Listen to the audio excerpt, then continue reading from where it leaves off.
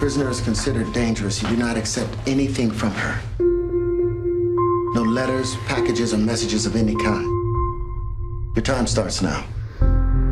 Former Weather Underground leader Sharon Solarz One of the longest standing fugitives on the FBI's most wanted list was arrested yesterday, 30 years after the notorious Bank of Michigan robbery, which resulted in the death of a guard. What's wrong? You look weird. I'm fine, honey.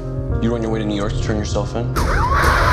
Don't move! Hands in the air! I thought that that would bring me peace. Why now after 30 years? Who's your best reporter? Prove it. Can I see the case file for old time's sake? You think because we hooked up in college, I'm going to give you access to FBI wiretaps? Wiretaps? You're talking to Jim Grant? Mr. Grant, I'm Ben Shepard, Albany Sun-Times. I don't really have anything to say over here. You don't know what I'm gonna ask you yet. What? I said you don't know what I'm gonna ask you yet.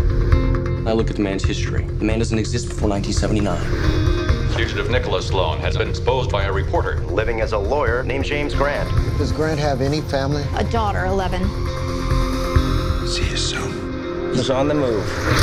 What the hell is happening? Evacuating the building. It's a diversion. Lock down the building now. No one goes in or out. I got him! Don't move! Hands in the air! Hello, Dan. I don't want anything to do with this. I need your help.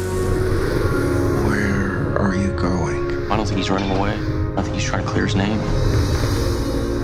Our government was murdering millions. We never betrayed each other, any of us, over all these years. Got him. You have a full green light. What are you willing to take a risk for? You're about to do a lot of damage to a lot of people. I would be damn sure you know what you're talking about. We all died. Some of us came back. Secrets are a dangerous thing, Ben. You get answers, but not the ones you think.